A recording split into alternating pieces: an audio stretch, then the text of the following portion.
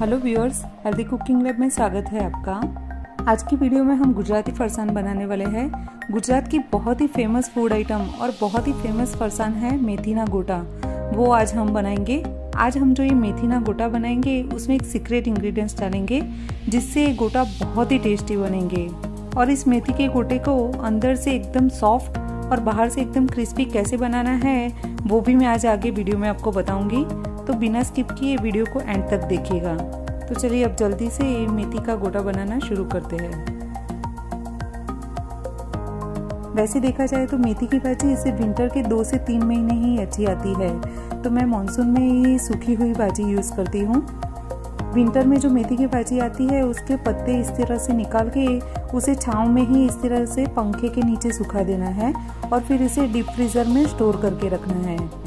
और मैंने जो आगे सीक्रेट इंग्रेडिएंट्स की बात की थी, वो है ये अजवाइन के पत्ते। ये अजवाइन के पत्ते इस तरह से वॉश करके, इसे छोटा छोटा काट के, फिर इसके जो बेसन होता है, उसमें डाल के इसे बनाना होता है। इसका टेस्ट सच मानिए, मेथी के कोटे में बहुत बहुत ही अच्छा आता है। देखिए, इस तरह से इसे छोटा छोटा कैची से काट लेंगे। अगर आपको ये अजवाइन के पत्ते नहीं मिलते हैं तो आप इसकी जगह पे अजवाइन वन टेबल स्पून यूज़ कर सकते हैं। पर अगर आपको ये अजवाइन के पत्ते मिलते हैं तो ये ज़रूर यूज़ कीजिएगा। इसका टेस्ट इस मेथी के गोटे में बहुत बहुत ही अच्छा आता है। हाँ और अगर फ्रेंड्स अगर आप मेरे चैनल को देख रहे हैं, आपको मेरी रेसिपीज़ पसंद आ रही है तो प्लीज़ चैनल को सब्सक्राइब कर लीजिएगा और बेल आइकन को भी साथ में क्लिक कीजिएगा। ताकि जब भी ऐसी न्यू और यूनिक रेसिपी मैं आपके लिए डालूँ चैनल पे तो उसकी नोटिफिकेशन आपको तुरंत मिले। हेल्दी कुकिंग लैब को आप अब फेसबुक और इंस्टाग्राम पे भी फॉलो कर सकते हैं। देखिए, पत्ते भी मैंने साफ़ कर दिए हैं और मेथी की भाजी भी मैंने दो बार वॉश कर ली है। अब मेथी के गोटे का बैटर बनाने के लिए मैंने यहाँ पे वन एंड हाफ़ कप बेसन लिया है। बेसन को हमेशा छान के लीजिए ताकि इसमें गुठली ना रहे। अब इसमें हाफ़ कप मक्की का बारीक वाला आटा आता है जिससे हम रोटी बनाते हैं, वो लेना है। अब इसमें one fourth cup rice flour डालेंगे, यानी कि चावल का आटा, एकदम बारीक वाला लेना है। वन फोर्थ कप सूजी डाल देंगे।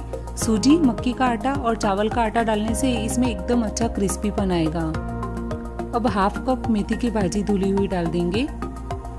और जो अजवाइन के पत्ते हमने साफ़ करके रखे थे, वो डाल देंगे। अब इसमें सारे मसाले डालेंगे, स्वाद अनुसार नमक डालेंगे वन फोर्थ टी स्पून हल्दी वन टेबलस्पून पीसी हुई शक्कर डालेंगे। अगर आप मीठा पसंद नहीं करते हैं तो स्किप कर दीजिए। वन टेबलस्पून धनिया पाउडर डालेंगे वन टेबलस्पून लाल मिर्च powder half a tablespoon garam masala डालेंगे।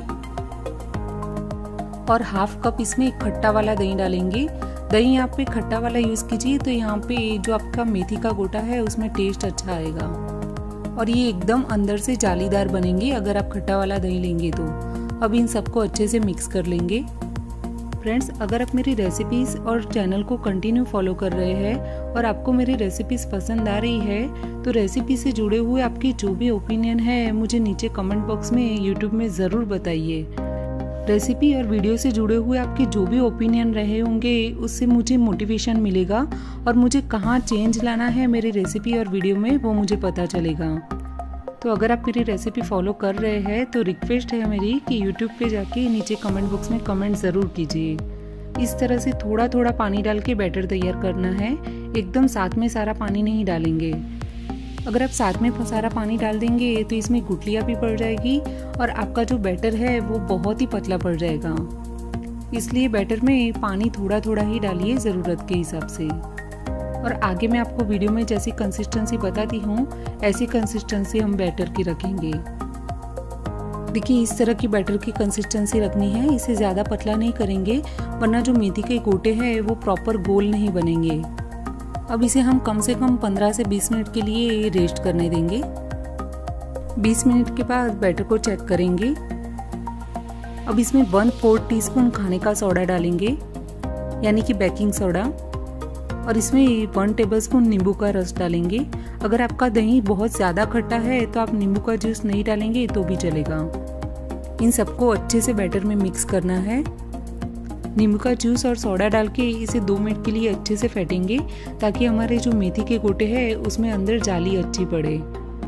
ये वाले स्टेप से ही आपके मेथी गोटे एकदम जालीदार और सॉफ्ट बनेंगे।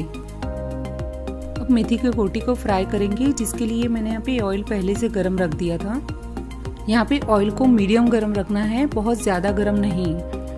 अगर आपका तेल बहुत ज़्यादा गर्म होगा तो जैसे ही आप ऑयल में इस तरह से गोटे डालेंगे, वो तुरंत ही जलने लगेंगे।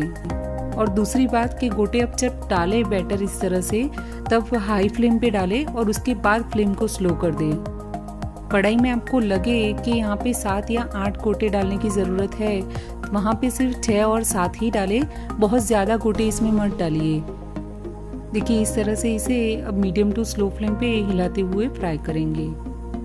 कंटिन्यू इस तरह से हिलाते रहेंगे ताकि मेथी के गोटे हर तरफ़ से अच्छे से फ्राई हो और बाहर से क्रिस्पी और अंदर से एकदम जालीदार और सॉफ्ट बने।